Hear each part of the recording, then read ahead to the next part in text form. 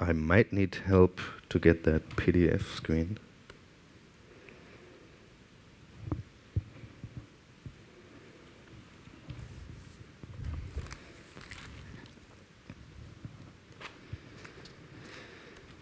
Thank you very much for your invitation. Um, I feel very much at home in the questions that you bring up. um, and I will speak about that research that you mentioned. Um, and I was pretty much in the same situation in 2000, 2001, when I thought if I should better quit um, and do something else.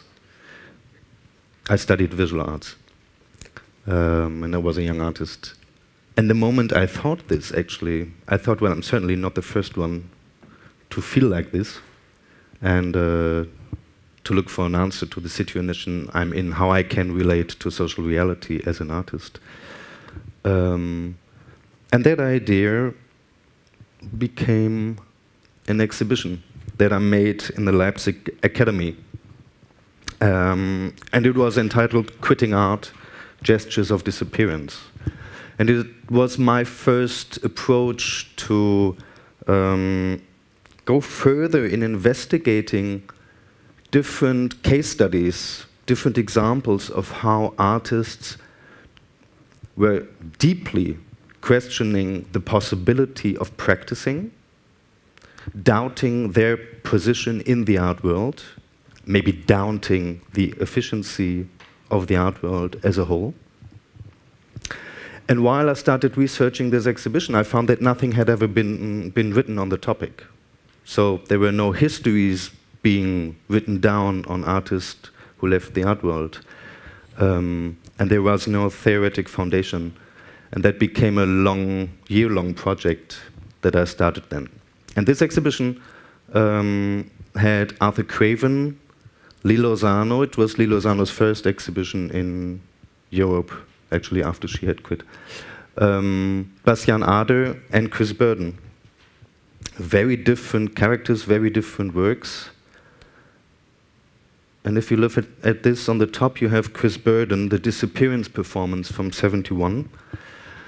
And this is obviously an artwork, an art action, it's a performance. And Chris Burden is really no one who dropped out of art. He became a very successful artist.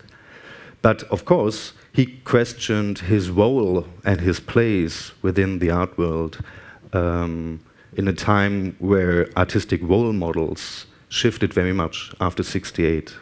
You might know that after 68, in the very early 70s, this is maybe the moment of deepest doubt in many, many artists. Um, because the entire role model seems to change.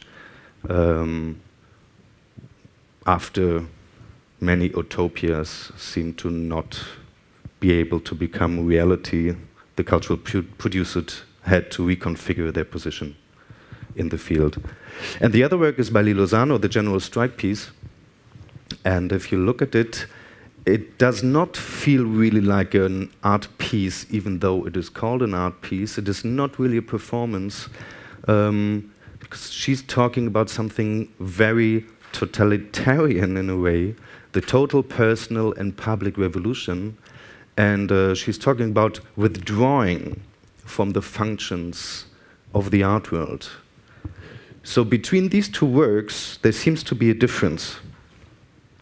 And um, I needed to become clearer about the classification of such different works and also what they were aiming for and where we could actually localize them. And um, therefore, I, I wrote a theoretic foundation of the artistic dropout to describe it in a more systematic way. And the most simple definition I could find was this one.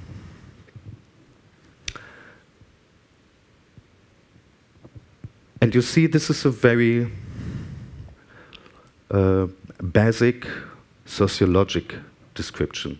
There's someone who is an actor in the art field, and we can observe him or her as such, and at a later point we can't. very easy, but I think it's really fundamental. And it implies that A, someone has been an actor in the art world, so you need to have a place somewhere in order to drop about. If you don't even get that place, if you're not accepted as an artist, if you're not somehow success, successful, at least in the sense that you could proceed working, it makes no sense speaking about dropping out. You just don't get in, basically. Um, and then also, I chose to talk about an actor in the art world because it's not only about artists. Sometimes people say, ah, you're an art dropout. No, I'm not. I changed my role from the art, from an artist to a curator, to a writer, to a gallerist, which is what many people do. We just change our roles and our practices uh, within the art world, but we are all actors in the art world.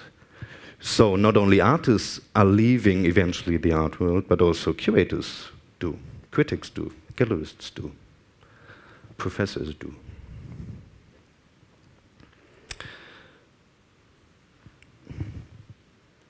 And to become more precise, you know, since the 90s, there had been an ever growing discussion on the notion of the performativity. And in that context, it became also clear that inaction is indeed an action. So if you're not doing something, this not doing is doing something. And sometimes it's doing more than doing something. Yeah? And with regard to withdrawal and dropouts and artistic inactivity, uh, I suggest to distinguish between what I call as an ostentatious inaction, which means an inaction that is meant to be seen by others. And you're familiar with works like John Cage, you know, 433, where nothing is happening, but it's happening on stage. Nothing is staged. Yeah. This is ostentatious. Uh, or Robert Barry, uh, who announced an exhibition, and the announcement was during the gallery will be closed. So these are clearly symbolic gestures. Yeah? Um,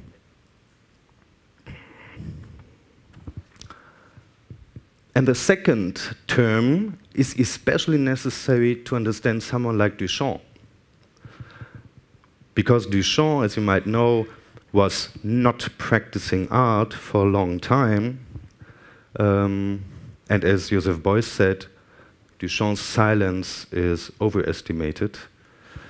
Um, but Duchamp's silence was really a challenge in the art world for many people because he was important, but he was not doing anything, which is not true. He was doing a whole lot of things. He was a very important actor in the art world all the time. He was dealing with art, um, he, was, uh, he was debating, he was writing letters to many people, uh, he was traveling, he was extremely visible with his silence. So I call this communicative inaction because this is totally possible. And it actually happens um, from time to time. But what we are talking about today, or what you mentioned, is what I call the radical inaction. And it means that you really stop any practice and any participation in the art world.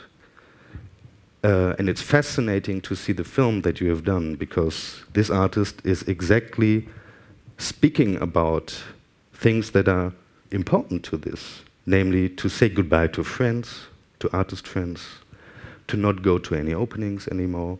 This really means on a daily basis dropping out.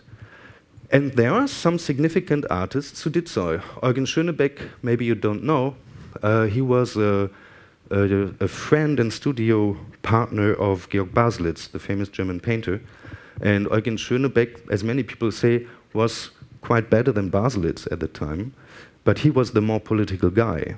And uh, when their paintings started becoming successful, he dropped out because he was really interesting in, in taking a political position with the politics and not having success on the art market. Um, and we'll talk about Charlotte Posenenske and Lee Lozano a bit further. Uh, Laurie Parsons and Cady Noland, incredibly important artists at the end of the 80s and the early 90s, and they both dropped out. Laurie Parsons actually uh, does social work in the United States and never even mentions that she was an artist because she finds that terrifying, actually, to speak about this.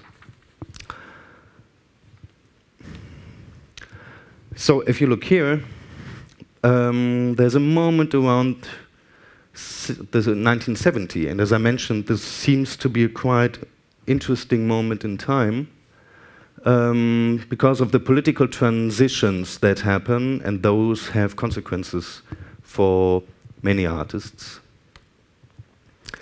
Um, but this is the question that I want to go deeper into, and I have to quote myself a bit and read you some paragraphs from my text. So, besides these first case studies that I had found, who else, how many others before or after them have reached the same conclusion? How many different reasons are there for giving up art for a time or forever? And how old are these reasons? How far back does discontent and doubt about art go, and the ambition to go beyond art in the sense of going elsewhere? As far as the 1940s and 1930s, how many artists who sought to distance themselves from fascism or St Stalinism gave, gave up when they realized their art was powerless against these regimes? And what about the Dadaists? in the late 1910s who did not want to be, quote, sidetracked into aesthetics, end quote, and who felt it necessary, quote, to come out against art because the Dadaist has seen through its fraud as a moral safety value, end quote. This is Richard Huelsenbeck in 1920. At the outbreak of World War I in 1914, Hugo Ball stated that, quote, art make, no longer makes any sense, end quote. And he was not alone in thinking that way. Arthur Cravan, a forerunner of Dada, described by Duchamp as a central figure of the Parisian avant-garde in the early 1910s, fled from this avant-garde as much as it did from military service. And in 1970, 1917, in the wake of the October Revolution, Russian artists and intellectuals called for all artistic creativity to serve the proletarian community, advocating, like the Dadaists, quote, complete integration of art into life, end quote. Does that mean the end of art sometimes? When the neo Impressionists an anarchist group of artists, actually, around Georges Seurat and Paul Signac, disbanded in 1890 following a dispute over the definition of a socially oriented concept of art, the Belgians Willy Finch and Henry van de Velde decided to lay down their brushes. Earlier, the French painter Gustave Courbet had become a member of the Council of the Paris Commune and played a key role in establishing a socialist administration in Paris from 1869 to 1871. His outspoken attacks on the symbols of a much hated order were carried out not on the canvas, but on the political and institutional stage although he gained little acclamation for these activities in his posthumous retrospective. Actually, there's an interesting text that describes that art historians had never ever written about Courbet being a political activist. They just somehow erased these two years of his life. In 1871, having been accused of complicity in the dismantling of the Vendôme column, he was sent to prison where he, for, fortunately for art historians, resumed painting. But even before this, in the years surrounding the 1848 revolution, artists in Paris held heated debates on the relationship between the symbolic power of artistic practice, on the one hand, and revolutionary politics on the other the choice between, quote, the paintbrush and the dagger, end quote. Who knows how many of these artists decided to renounce art for the sake of the revolution? We don't know. No one has ever counted them. it is actually impossible to track them. No one can say how many artists have abandoned their craft and why. All we have is assumption and speculation and very few examples that we can actually study. It seems likely, though, that in times of political and cultural upheaval, when art's social function changes, not all players remain in the game. In the years around 1870, 1917, 1968, and after 1989, artists, along with many others of their time, came out in protest and demanded change. They sought to establish a new social and political order and were forced to ask themselves whether their art had the power to achieve these goals or not. How many chose to trade in their artistic production for another practice that felt more promising, more effective, more relevant with regard to the social challenges of the moment? How many chose to not risk a marginalized position and to not assume the unhappy role of the artiste maudit, classical term, the cursed artist, or the artiste raté, the failed artist, but instead became artistes dissociés or détachés, or quite simply, ex-artists. People who have voluntarily withdrawn from producing work, who remove themselves from the art scene and relinquish the role of the artist in order to do something else. There must actually be many such people. And there are most probably more ex-artists in the world than artists. So this is a huge phenomenon, once you start thinking about it, a phenomenon on which we know almost nothing. Except, that's what I said, a few case studies, and Lee Lozano, from everything that I could find during my research, is the only case where you can really track a dropout step by step because it evolved in her artistic practice, and uh, we also have notebooks. So I will try to quickly walk you through Lee Lozano. That's her in her mid and 30s, where she was a painter in New York, not without success. She had shows, galleries she sold. Uh, she knew uh, many artist colleagues in the avant-garde, was a close friend of Carl Andre. Dan Graham was, was her friend and, and lover and partner for a while. So she was not isolated at all. And then in 68, 69, she stopped doing paintings and did the so-called language pieces um, that had been forgotten for almost 30 years, but that made her today one of the most important and earliest female conceptualists. There are 50 of these language pieces. Some of them are really funny. Actually, most of them are quite funny. Um, and when you look at them closely, they deal with all the different elements that are important for an existence of an artist, from, but also a human being. Uh, from her dealing with, uh, with food, with drugs, with sex, with money, the relationship um, with the galleries, how to make an exhibition. So everything that somehow is important in her life becomes pulled in uh, the language pieces, and what she does is, as you see, she's giving herself instructions what to do. And the general strike piece, um, that is maybe the most important one, you can see that, actually, let's dialogue, um, she's giving herself the instruction to withdraw from the art world. And in the next step, she does dialogue piece because she sits in her studio basically is quite alone and she makes the dialogue piece and what she does she's calling people from the art world and invites her to have a dialogue and if you look on this notation it says um, i don't know where the purpose of this piece is to have a dialogue and not make a piece so she's somehow opening um, a space in between, yes, this is a piece, this is clearly formalized, this is true for all the language pieces.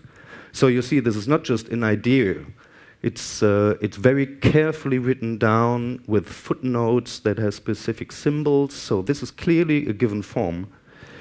But then the dialogues start to become, become something where at one point she writes in her notebooks, uh, I might do this for the rest of my life. So it somehow overwhelms the possibility to give it a form, almost. Huh? Uh, invite a cat and a baby for a dialogue. You see, she somehow is trying to push it to an unlimited possibility of interaction with others. And she tracks all the different conversations. There's pages and pages and pages who, what people she called on the phone in order to invite them, what they had spoken about when they came, etc. So, and this is not a piece, this is a quite important statement she made at the Art Workers Coalition. You might know the Art Workers Coalition, an influential um, very politicized movement in New York, uh, where artists, for example, uh, claimed the right to uh, decide on what artists might exhibit at the MoMA, uh, get paid for exhibiting, etc. And she was at a public hearing, and this is her conclusion. She, she mocks about these people, as she does later on on the feminists that she also meets in New York. Um, and she says, I will not call myself an art worker, but rather an art dreamer. And again, she says, I will only participate in a total revolution, simultaneously personal and public. So she insists on something very, very um, utopistic. I think we should say.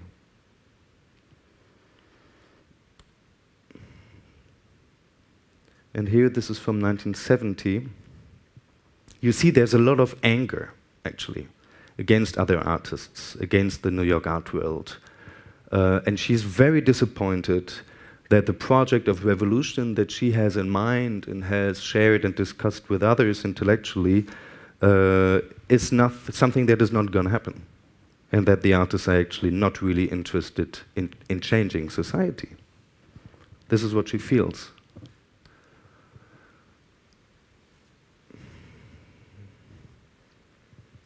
May 68. So this speaks a clear language. And these are no artworks, huh? these are her private notebooks. And you can feel when you go through these notebooks and the language pieces that there's a decision that is preparing for her. And at some point, it becomes clear. April 1970, there suddenly she speaks about the dropout piece.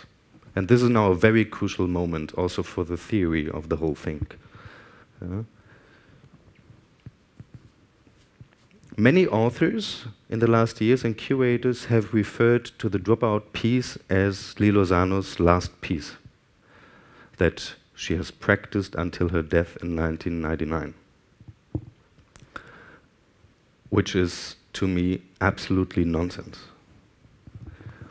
Uh, a, dropout piece is not a piece. It is not written down anywhere. There's just this remark in her private notebooks and I would find it totally absurd to uh, call a life decision like this an artwork. And also, it's not true because all the commentators did not read the other pages of the notebook. And there it becomes totally clear what the motivation is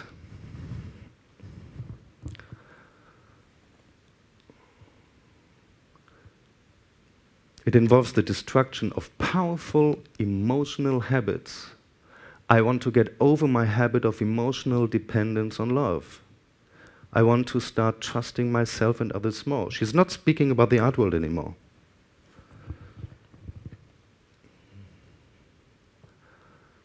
And indeed, she has, uh, she's quite addicted to, to, to dope, to sex.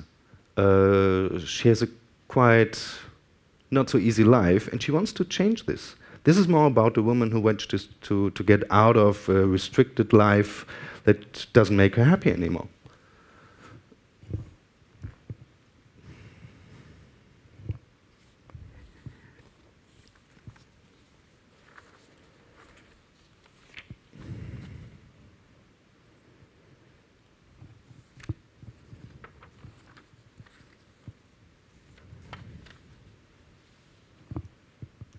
So here, in the end, you see there again is the the societal dimension that is really important for her.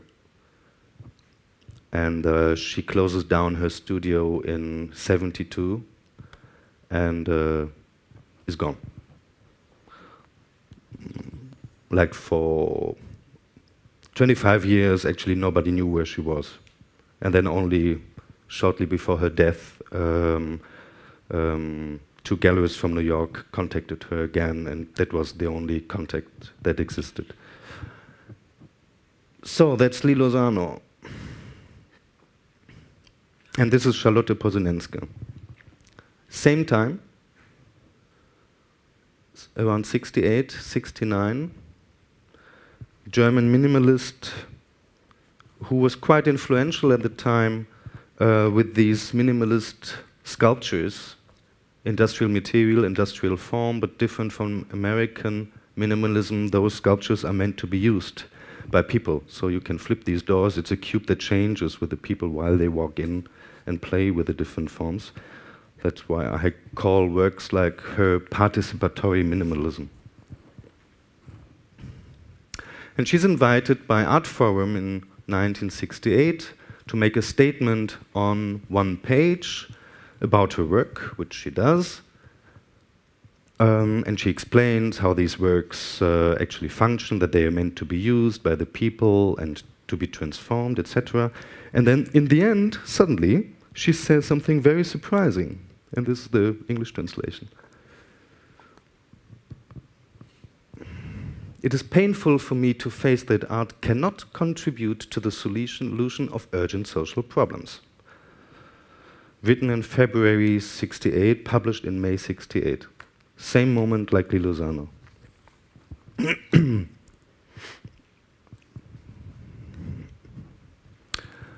um, and then again, she stops her practice, no studio. She doesn't respond to uh, any proposals for exhibitions anymore and she studies sociology. And in 79, she publishes this book together with her partner Burkhard Brunn. That is some hardcore sociologic theory analysis uh, on Fordistic production methodologies and how they accounted. It's, it's really tough when you read it through. But her conviction was that doing this sort of work was much more important uh, for the equality in society than what her art could actually do with the offer of participation.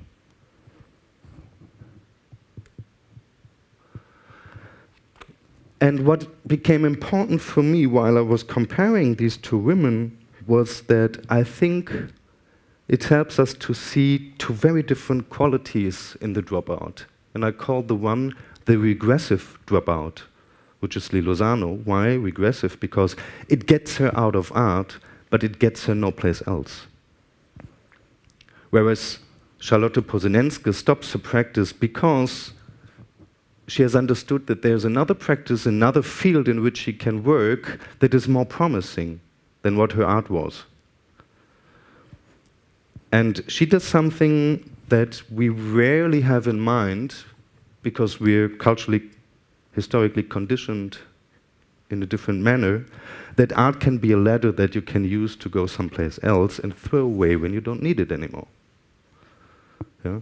Just the Occidental notion of art and artist doesn't allow this. Yeah? To think in such a pragmatic way. way. I don't know how much time I have left. I still have some time.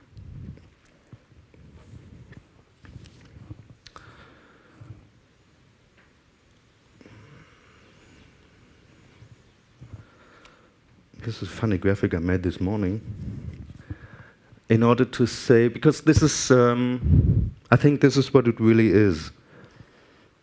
You have actors with a practice who are in a certain social field, who have a certain visibility, who have a speech in there, and then they start to leave that field and practice someplace else and have their voice somewhere else. And as I said, it's really hard for us to track that and to observe this.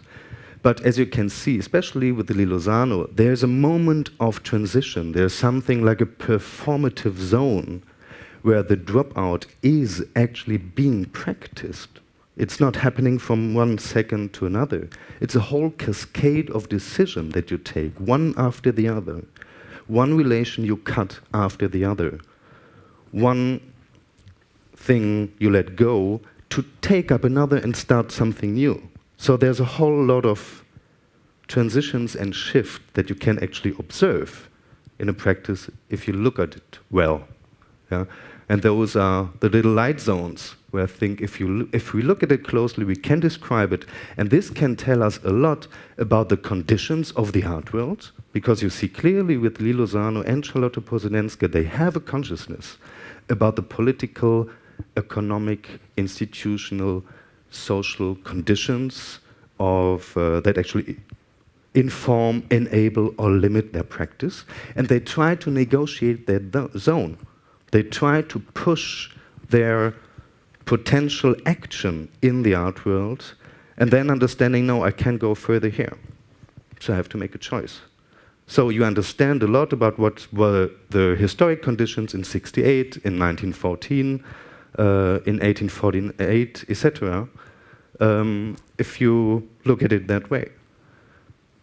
And on the other hand, it helps you to understand that quitting art can be an act of emancipation.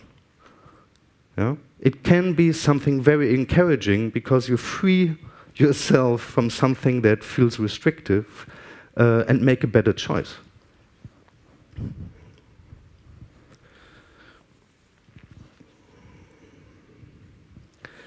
And to end with, I will just read something because I think this is really crucial to understand why this is so uncommon for us, or has been uncommon until recent years. So, why had we never heard of ex artists? Because artists are not meant to just stop being artists. They either fail or die. As it turns out, Oh, this reminds me that I have five minutes left. As it turns out, this problem goes back as far as the early Renaissance and the birth of the Giotto legend. Vasari tells the story of how the young shepherd boy Giotto was discovered by a mature artist who saw him drawing on a rock and who immediately recognized his extraordinary talent. Giotto thus became the prototype of the artistic genius whose talent was not acquired through hard work or training, but was a gift of nature and a gift of God. This myth elevated him and the archetypal artists. Sorry. This myth elevated him and the artists of every subsequent era above the mere craftsmen. Even now, we bear the legacy of this successful attempt to accord the artist a special status in the hierarchy of skilled craft occupations, who, having been granted the status of the artist with, within such a hierarchical system, would ever think of relinquishing it from the exalted position of the artistic genius who has gained the recognition of the church, the king, and his professional colleagues, the only direction one can go is down, back to the profane level of mundane craftsmanship. And if an artist is deemed to possess the even greater gift of divine inspiration given by God, it would in fact be sacrilegious to refuse it. And this myth of the artist genius came to us over Romanticism, yeah, uh, and was um, um, and was rewritten during um, modernity, but it's deeply within our notion of art and the artist. And this is why I think for a long, long, long time it was almost impossible to even bring up the question whether an artist could stop being an artist. Because it's not something that you can start and stop, like any business. But my proposal is this is actually, this is exactly how we should see it. It's just one of the things we can do and also stop doing. Yeah? It's one of these passions, it's one of these practices, it's one of these possibilities, but it's also something that sometimes makes us impossible to act and to reach what we want to do. Um, and I suggest a totally anti essentialist dealing with the artist role model. And I think this is the point I want to make. Thank you.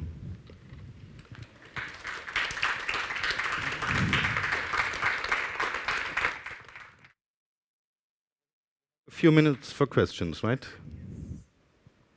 Um, thank you very much. Um, we have a few minutes for questions, and uh, if anyone wants to ask, I will come over to you with the microphone.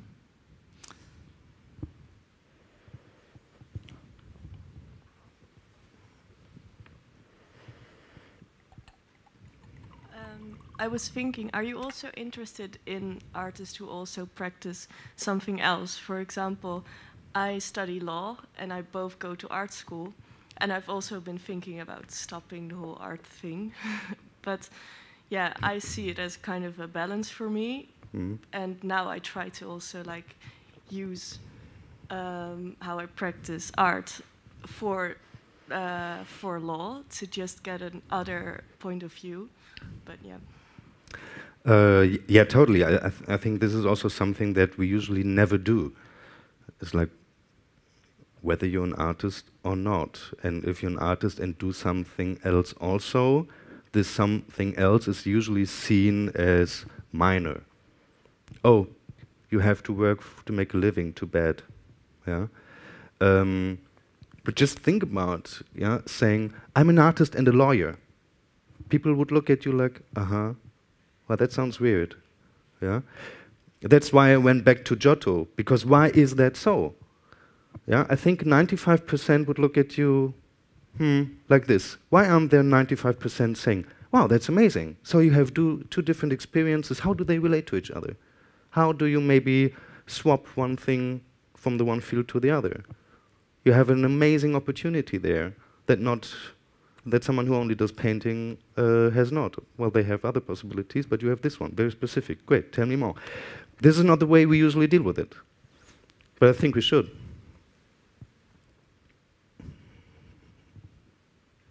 If that's an answer.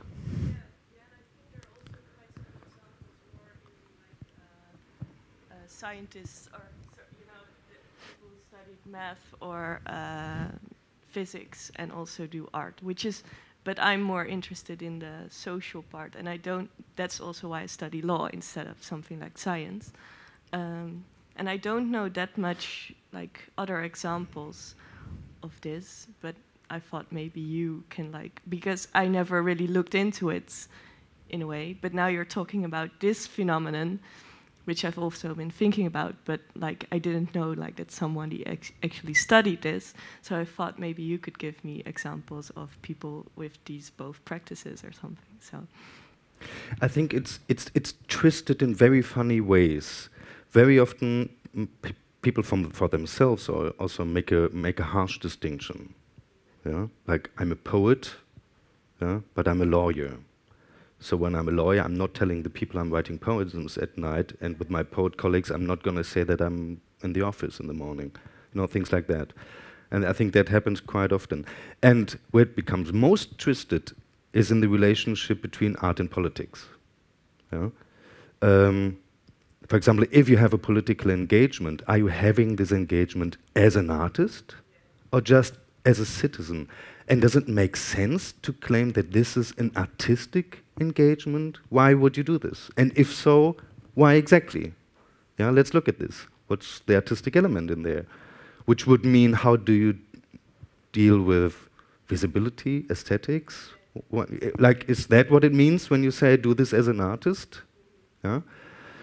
Um, because this is what this question comes down to for you also. So, what is that relationship, and where is the political aspect? And of course, I would always say a lot of art is deeply political in an immanent way. Know? There are zillions of artworks uh, that, when you draw the consequences from them, you touch on very deep political notions. Yeah?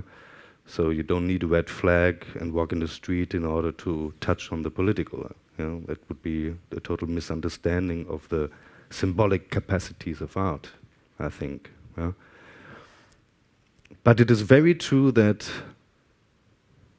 especially in the last like 10 years, where I have the feeling the you had a moment where the art world was very politicized in the 90s. I think that the discourse about it was quite sharp and then it got more and more populistic in the last years, I have the feeling. And there are many people walking around and claiming the notion of the political uh, within the art world. Uh, and I think we must try to be sharp in our distinctions, and especially in our interests, and say, why is the art world a good place if I have a, um, a political project? And if I have a political project, do I want to be efficient with my practice in a political way, which maybe means in a really pragmatic, administrative way? Or is the efficiency the creation of symbols or changing people's mind, working on the level of the social imaginary, which is what we actually do with art? Yeah. So that's just a plaidoyer for not mix, mixing up all these notions um, and integrating everything into the art. Question? Hi. Um, I thought it was a really fascinating talk. Um, one of the examples that came to my mind when you were talking, which you didn't mention, but maybe would be interesting to follow on from what you just said, is Gustav Metzger's art strike. And I wondered whether you could maybe say something about that in terms of how you've thought about this, this very interesting kind of systematic way you've approached these different withdrawals. And I guess Gustav Metzger's art strike being an example of using a kind of political mechanism, the strike, the withdrawing of labour, um, which is not permanent. It's necessarily not permanent. But yeah, I wondered if you could say something about that. I must say, I researched Metzger a long time ago and, and, and found he was not really a relevant example for this. So I, I can't answer in, in detail, but it's interesting to talk about the strike. Because the strike indeed aims for something. The strike has a clear purpose. So, with regard to inactivity, it is rather an ostentatious inactivity yeah, or minimum a communicative inactivity. Yeah. So, uh, I mean, Lee Lozano has called this piece the general strike piece. Uh, that's actually the, the newspaper, that's a publication I've written that resumes all this research. And uh, I bought them, so you can have them. Um, but strictly speaking, it, it is not a strike. It is not even a general strike, what she's doing in the end. Yeah? It's true for the moment where she says, I'm not going out anymore. Yeah? I'm not going to openings. I call you, come talk to me, because what I want is another form of social interaction that really has a personal level, that has depth, that can develop without an end, etc. Um, and there were a lot of strikes yeah, in New York, for example, Art Workers Coalition, but also an artist like Henry Flynt, Henry Flynt, who was said to be an art dropout, which is not true at all. He was an artist who had no success, and st- stopped practicing. But what he was doing at the time was protesting against museum, protesting against curators, art market. Yeah? Um, this is activity. This is action. Yeah? It just plays on a different level. Okay, he's not painting, but so what? Yeah? He's playing his role. If that's an answer. And I think Gustav Metzger, he was a very serious and very radical person, and he knew how to deal with that very well. But um, from my understanding, he didn't want to leave the art world to to go someplace else where he can be more efficient with what with his criticism, especially on fascism.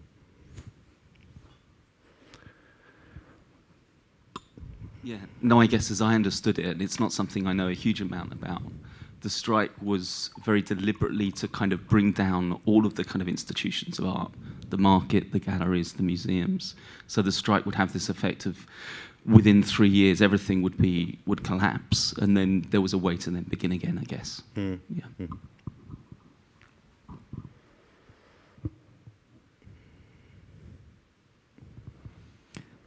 Okay.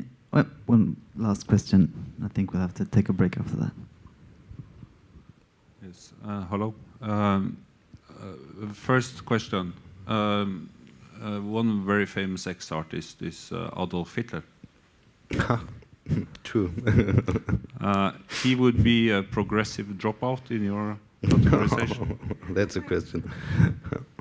um, well, he was a successless artist, right?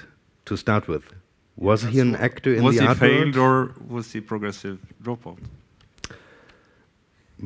I never thought about this, but it's a good point because um, even though it's a really weird example, um, but it's maybe one of those cases where you see that someone has uh, an, an, an aesthetic understanding of things developed out of an artistic practice and then clearly knows how to deal with that symbolic dimension on the on the field of politics, propaganda, city planning, uh, mise en scène, etc. So you could say that this is some sort of Gesamtkunstwerk, yeah, um, which there's probably kilometers of literature that had been written on this, but I never got in touch with it.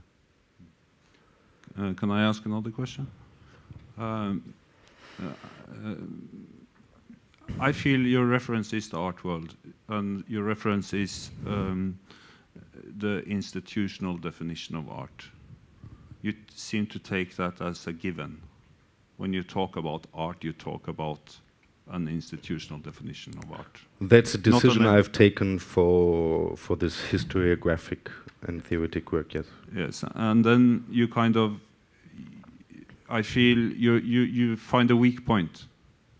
The dropout is a weak point, hmm but the consequence of what you're speaking is is like a broadening of of.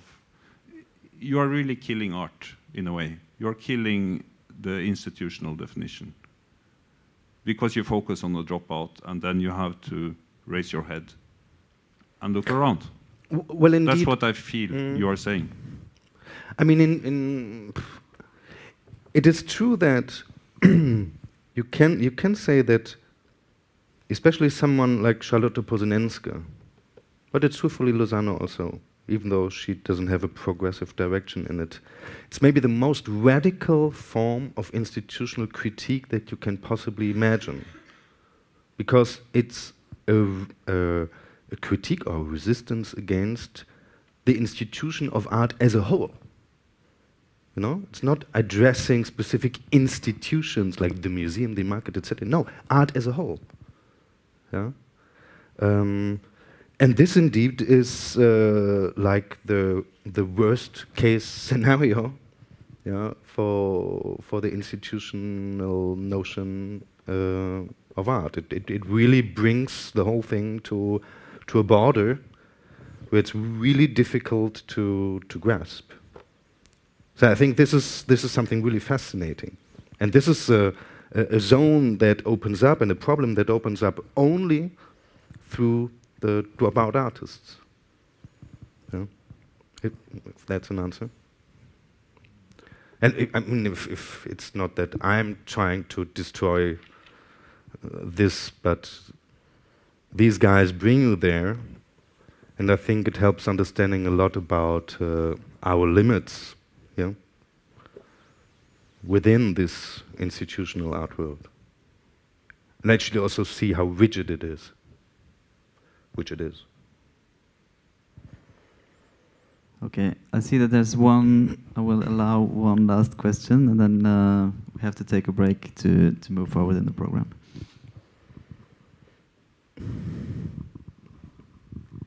Uh, I think uh, the thought of the artist dropout can be very daunting, especially to us emerging artists who are always questioning uh, the value of our work. I think most of the time, most people haven't don't see any value in what they create, or so so like the artist dropout is kind of like a, a very uh, it's kind of facing your dark self because uh, nobody wants to drop out in anything you know because uh, to quit represents kind of like the ultimate sin because already uh, you're always trying to overcome mediocrity and then and you and you're always accepting failure because it's part of progress and then and then to quit is like uh, the ultimate disaster you know Yeah. um, so I feel uh, so I'm, I'm kind of speaking to other emerging uh, persons like me who uh, that so I think the question is not whether we can uh, it, it's the question is not whether you're a quitter or not. I think the question um, is what how, how much faith do I have not just in myself but in in actually in, in my voice. Hmm because I think that is the ultimate cause. It's like, what what is, you know, because art is just a framework for me to able to engage with the world and to Yep. translate and to reflect and to process and to recreate and to etc. etc. Yep. So, uh, um, me, for example, I, I, I, as much as I'm very inspired by you know the, the high art genius as you spoke about, you know.